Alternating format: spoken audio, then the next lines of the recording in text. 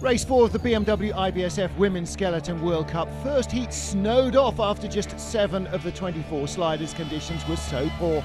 Second heat track much clearer. Tina Hermann, last year's winner, looking to go and try and repeat her victory in this one heat race. Laura Deas of Great Britain had taken the lead, but Hermann found speed, as she always does, down at the bottom to zoom a quarter of a second clear. Next up, Janine Flock, two European Championship wins in the last three seasons and a silver medal in between. She's now joint third in the all-time winners of the European Championship. Great run from her, leading at the Kreisel, but at the line she still had enough to put Hermann back into second. Jacqueline Lölling, the crowd favourite, silver medal in the World Championships here two years ago. Blustering snow during her run didn't put her off. She was the silver medalist here last year as well. Behind Flock into the final corner. Would she get in front? Yes. With the final turn, she took the lead.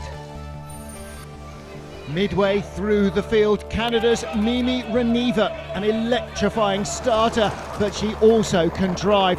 Held her lead over Jacqueline Lölling down towards the Kreisel. She still had an advantage, but was time against her. Lölling speed is always in the final corners, and Rahneva fell just 200 shy of the leader.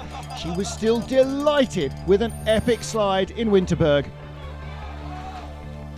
Elisabeth Vathje of Canada had been very quick in testing and it was not misleading. She had fantastic speed, beating Jacqueline Lölling all the way down the track. Still had the lead at the line to go a tenth of a second in front of the hometown queen. And that's the slide that won it. Win number two of the season for Vathje. Silver medal number three in Winterberg in a row for Jacqueline Lölling ahead of Mimi Rahneva. But Jacqueline Lölling holds on and extends her World Cup points lead. Jacqueline Lölling, silver medalist in the World Championships in 2015, silver medalist in the World Cup in 2016. 2017, she's the European champion in women's skeleton on her home track. Janine Flock, the silver medalist again, Tina Hermann in the bronze.